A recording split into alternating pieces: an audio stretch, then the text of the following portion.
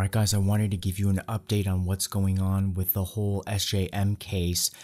When we last left it, it was about Thanksgiving. And during that time, November 23rd, is when the two sides had presented to a judge their positions on whether or not to release the additional CCTV footage, the CCTV footage that we've all been asking for, that would bring clearer clarity to this whole situation. Don't know why it's such a big deal if there was nothing to hide. And of course, we all probably know the answer to that situation. The way, of course, the courts work is that you have to wait three months in between each time.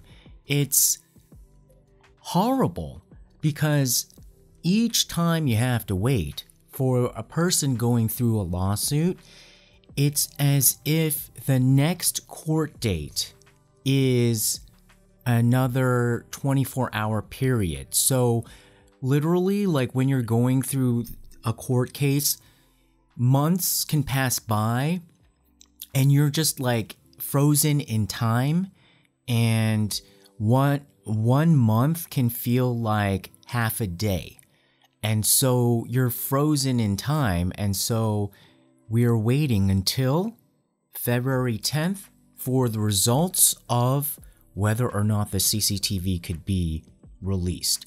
And so we got an update on that situation at the beginning of this year. SJM's father was thanking everybody for his, the continued support, and he had just expressed his kind of sadness of how this has been dragging on for so long.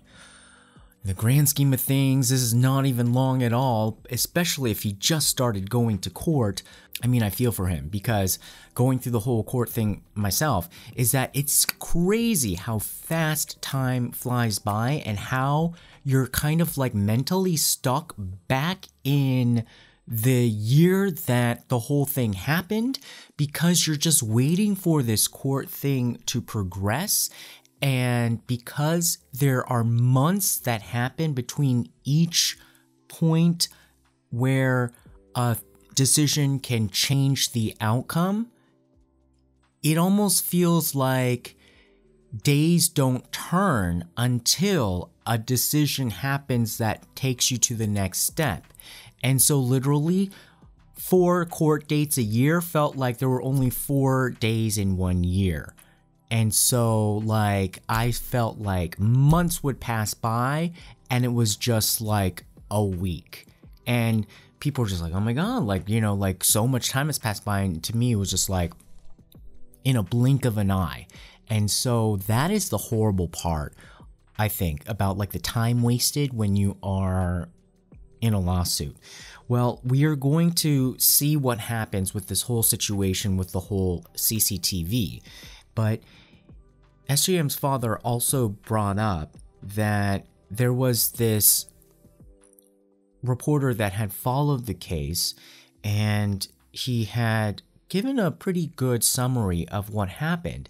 And this reporter pointed out that, you know, when he was first covering it, he was kind of going along with all of the positions that he had been fed saying like, oh, when he went at night, it seemed feasible that perhaps SJM could have stumbled into the water and drowned.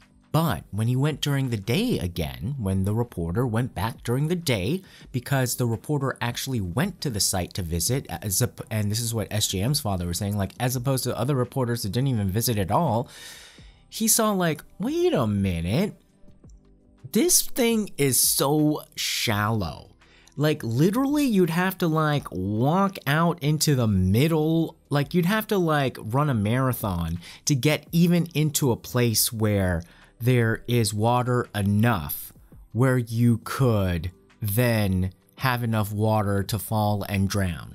Like the pictures that like the police drew were a little bit misrepresentative. Like it was not any kind of situation where you could easily just da da da da da da walk in.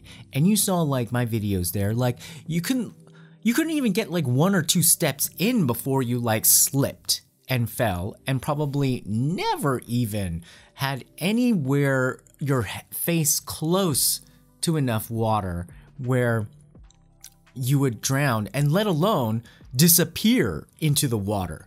You would literally probably be like splayed upon the rocks and never move before anything happened. So that whole thing is crazy.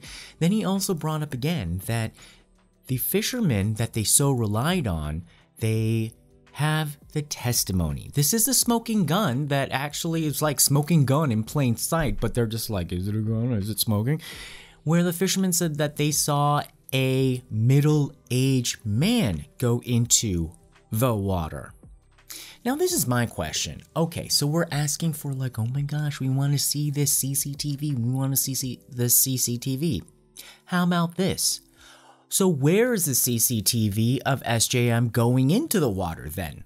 Why don't we flip it around and say, okay, police, if you haven't wrapped up the case, you could just wrap up the case real quick by just showing us the CCTV of SJM going into the water.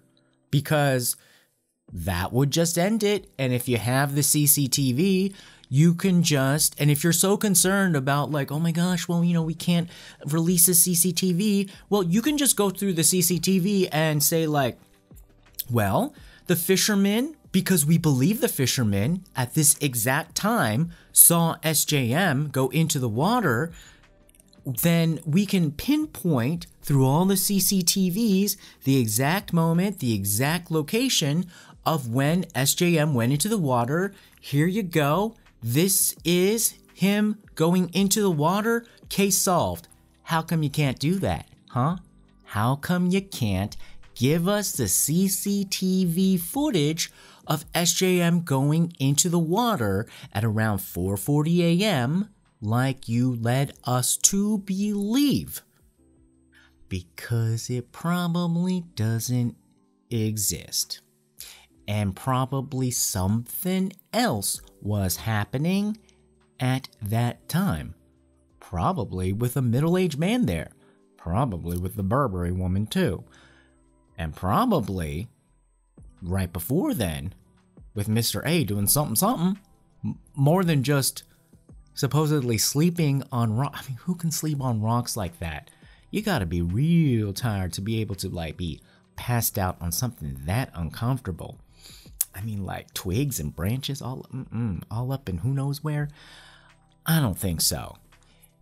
So that is majorly suspicious. Now, one post on his blog right before the new year, SJM's father threw then major, major suspicion again at Mr. A's phone. He, in particular, said, like, look, there's a lot of places behind that Y tree where you can stuff a phone and hide it for a few hours until, let's say, a father and son go back in the morning and dig around there for about 30 minutes to try to find it again, or somebody else could try to find it again. Because what they said was that the phone started to kind of ping, remember, like after 7 a.m., Mr. A's phone. So, SJM's father surmised that after Mr. A called his parents at 3:37 a.m., which he reminded us again that they had totally hidden from us and we had to find out only through later sleuthing by luck that he called his parents so between 3:37 a.m. to 7 a.m. that phone had to have been somewhere around that area not been found and hidden and theoretically if you believe the sort of like fantasy of this phone magically going from the riverbank and then like 10 days later all the way near the parking lot area and picked up by a sanitation worker, even though during that time there were like hundreds of police people just like scouring the area. How did it magically just on its own travel there? Totally unlikely. And so he is basically making the assumption or accusation saying that like it was probably hidden like stuffed in there somewhere like in a crevice or a crack or even like that butt of the tree and then taken out somehow and then turned off taken off site and then brought back you know, plopped over. Because even the sanitation worker said, like, oh, I don't think it was here. I think it was just kind of dropped off here, like, conveniently. That sanitation worker was, like, spilling the beans of the plan. I mean, I think they need, really needed to shut him up because he was, like, exposing the plot when he was just starting to talk. And he, of course, remember, rejected the request for a lie detector test so did Mr. A rejected the request for a lie detector test. Something tells me we need to get some of that golden truth serum, but something that one of you guys astutely astutely observed is that there may have been a third phone in play. Recall the video where Jungmin was filming Mr. A dancing and he was off at a distance, and he was yelling at Mr. A, saying, Let go of those false hopes and then just come back. And he was kind of dangling the phone, and so you could kind of see, like, when he was like dropping the phone a little bit, you could see what was on the picnic mat on the ground. So his shoes, his shoes were off, and then it looked like it caught. This is what one of you guys said another phone. He has a phone in his hand. Mr. A is looking at a phone. Why is there another phone on the ground then? That's a third phone. It looks white. You can see the gleaming white back, and then you can see the portal for the camera, and then also like the little flash. And it is not the space gray iPhone that supposedly Mr. A had, and it's not the Samsung S20 Plus that Jungmin had. So, whose phone is that? Is it a tablet PC? Because from what I know, is that he may or may not have had an iPad. That's definitely not an iPad, and it doesn't even look big enough to be a tablet PC. It literally looks like another phone. So, where has that been in any of the investigations or the discussions? Was there another phone and who did it belong to and what role did that have in this? And could that shed any light on what had happened that night? So we still really are being so misled by this whole scenario.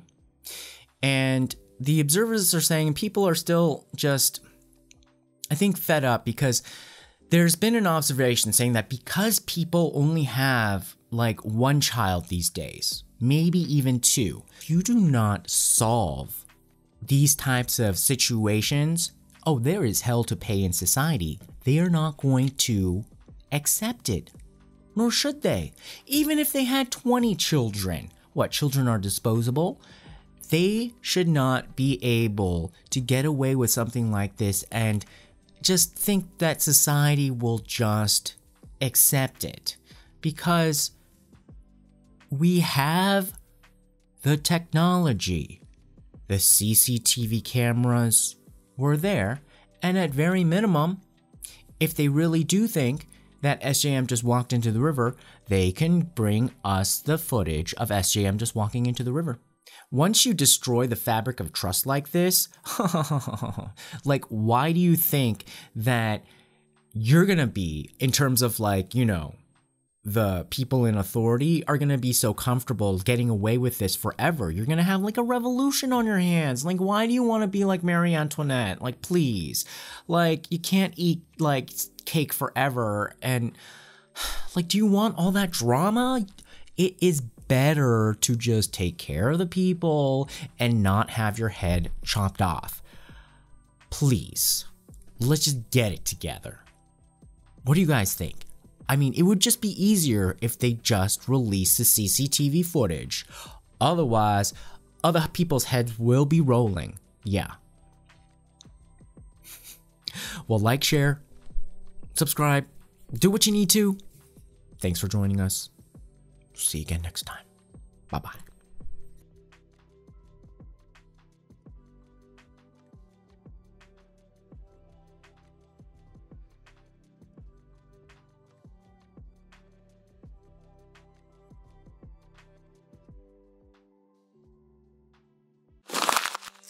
Tune in next time. Don't forget to subscribe. Find us on YouTube, Instagram, Twitter, and Facebook. Love you.